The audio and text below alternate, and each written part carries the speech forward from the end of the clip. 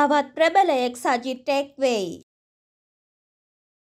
ශ්‍රී ලංකා යුද හමුදාවේ පනස් සතර වැනි මාණ්ඩලික ප්‍රධානියා ලෙස කටයුතු කළ විශ්‍රාමික මේජර් ජෙනරාල් සත්‍යප්‍රිය ලියනගේ අද විපක්ෂ නායක සජිත් ප්‍රේමදාස හමු වී සමග ජන බලවේගයට සහයෝගය පළ කිරීම සඳහා එක් වී තිබෙනවා. දශක තුනක යුද්ධය වෙනුවෙන් සුවිශාල දායකත්වයක් ලබා දුන් සත්‍යප්‍රිය ලියනගේ යුද හමුදා මාණ්ඩලික ප්‍රධානීවරයා ලෙස කටයුතු කිරීමට පෙර යුද හමුදා ස්වේච්ඡා බල සේනාවේ සේනා විධායකවරයා ලෙස සහ බටහිර ආරක්ෂක සේනා මූලස්ථානයේ ආඥාපතිවරයා ඇතුළු ප්‍රධාන තනතුරු රැසක කටයුතු කරනු ලැබුවා. සමග ජන බලවේගයට එක් වූ ඔහු දූෂණ විරෝධී ප්‍රතිපත්ති සහ ක්‍රියාත්මක කිරීමේ ඒකකයේ ප්‍රධානියා ලෙස සහ විපක්ෂ නායක සජිත් ප්‍රේමදාසගේ දූෂණ විරෝධී ගමනේ උපදේශකවරයෙකු ලෙස පත් කිරීමටද විපක්ෂ නායක සජිත් ප්‍රේමදාස කටයුතු කරනු ලැබුවා. අවසන් මානුෂීය මෙහෙයුමේදී මේජර් ජනරාල් සත්‍යප්‍රිය ලියනගේ 52 වැනි පාබල සේනාංකය සහ 64 වැනි පාබල සේනාංකයේ අනදෙන නිලධාරියා ලෙස කටයුතු කරනු ලැබුවා.